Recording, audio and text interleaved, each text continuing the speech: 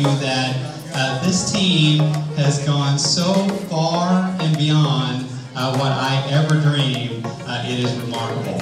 All of them are just uh, phenomenal. So the energy that we feel within this council uh, is beyond anything we've ever experienced in state government. But never has a group of people taken the initiative and worked as hard as this one. From the very top of state government, we have a strong commitment to this group.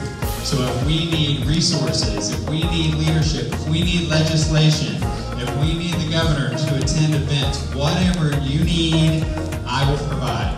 We are that committed to this group. So I ask you to help us make this the number one state in the country for minority business owners. Now, when we talk about Oklahoma and minority economic development, when we talked about having this meeting, one thing that was important to us is as we move, you heard Sean Kouplen talk about advancing us into being one of the top states in the nation. But how do we get there?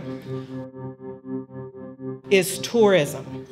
If you know about tourism, tourism is a key driver to economic development. So, if we have tourism, what is the value? Where do we get to tourism? Well, we talk about the rich history of Oklahoma.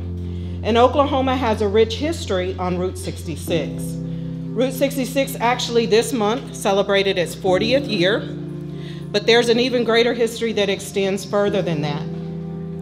I'm proud to be here as an African American minority business because there was a family, there was an individual, Allen Threatt Sr., who set the pace for minority economic development for African Americans. In fact, he opened the first um, African American owned business on Route 66 in the state of Oklahoma, and also the first gas station or filling station on Route 66 in the nation. And it reads, presented to the family of Allen Threatt Sr., Threatt Filling Station, established in 1915 Thank you for your historic contribution as the first established African American owned business on Route 66 in Oklahoma.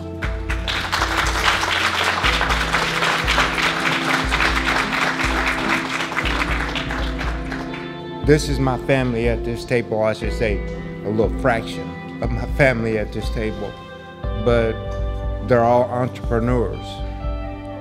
Nobody sits around and expects something to be given to them. They work for it, they earn it. And that's what Grandpa was all about.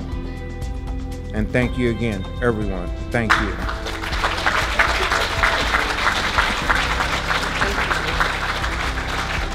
Our goal with the council, well, as I mentioned again, is we'll continue to highlight and we invite you to please reach out to us and our goal is to work with minority businesses and be on the road to making Oklahoma a top 10 state. Our higher purpose is to provide a uniform platform for global and national businesses to invest in Oklahoma. We're on a new path, the first of its kind in our state. We're out to attract and achieve new growth for minority businesses in Oklahoma. Because what's good for minority communities is good for Oklahoma. But there's a challenge in our way.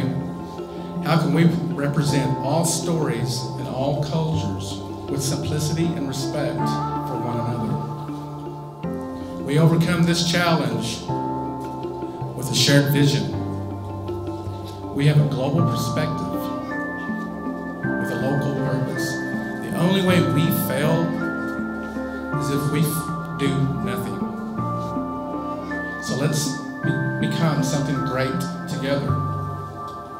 Let's fix our eyes on the horizon.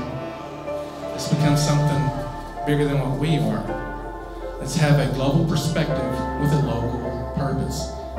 Because we all share cultures, but we all have one mission.